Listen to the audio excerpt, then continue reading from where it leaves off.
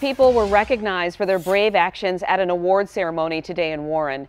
Just regular people credited for stopping a burglary, saving a life, administering CPR.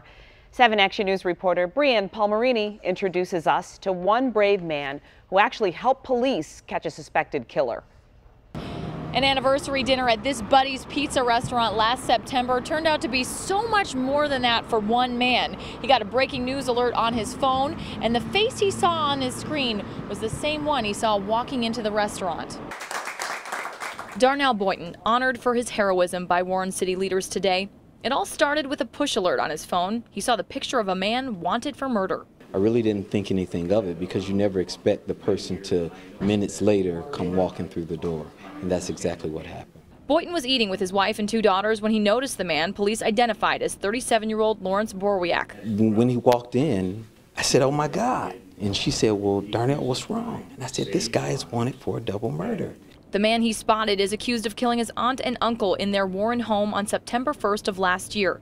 The couple is reported to have raised Borowiak, and he brutally murdered them and made threats on Facebook. Boynton said he wasn't even scared when he decided to take action. I don't think I actually made a conscious decision. Um, I just knew I had to do something.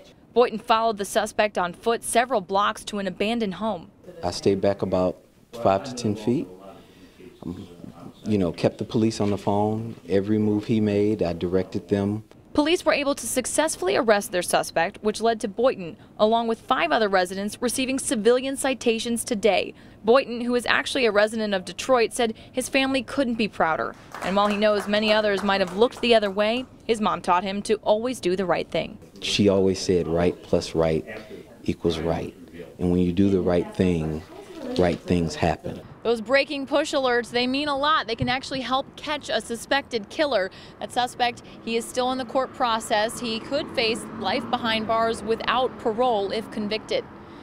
In Detroit, Brianne Palmerini, 7 Action News. Congratulations and good that he was recognized for helping the Warren Police Department. Two